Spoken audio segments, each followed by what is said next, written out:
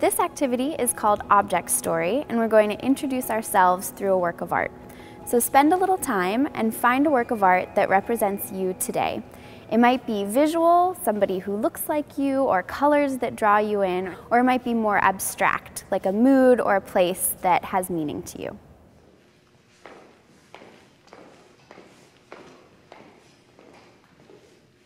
I think it's just that feminine curve to it. It's this constant feel, feeling of movement that's happening when you look at the piece. I like the color scheme on that, all the cool colors. It looks like the artist just took some strokes and painted it all the way down. This one's pretty interesting. I like the spot of red right in the corner. This one, though, I love the energy of his paintings. This one reminds me of the skate park back home. Looks like spray paint, kind of. I think that's it. I think this one looks like me today. Yeah, this speaks to me today.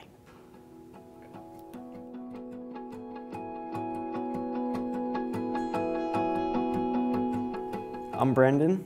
I chose the piece Sunny because it kind of uh, resembles my morning after I had my coffee. I was uh, feeling pretty sunny. I was able to get out, take the bus here, get a nice walk over here. And I was feeling like this dog, a little exhausted, but you know, I chose this picture because it matches my mood and it's a great way to start my day. I'm Lacey and I chose Ellsworth Kelly's Red, Yellow, Blue. And part of the reason why I selected this piece is I really enjoy mm-hmm. his attention to detail. And when you get really close to the piece, you realize and start to notice that there is not a brushstroke to be found. And I, it makes me pause and think how long it must have taken Mr. Kelly to be able to create a piece like this. And it really just makes me happy.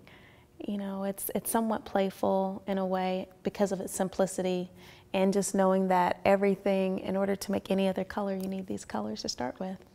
My name's Nate. I chose this painting. I think it represents me pretty well today. The first thing that I noticed was that it kind of looks uh, like my outfit, lots of black and blue, but also uh, it looks like how I'm feeling this morning because I don't want to go to work and it's Monday and it seems really aggressive. It seems like the artist was really fighting with the painting while he was making it. That feels like how I feel today.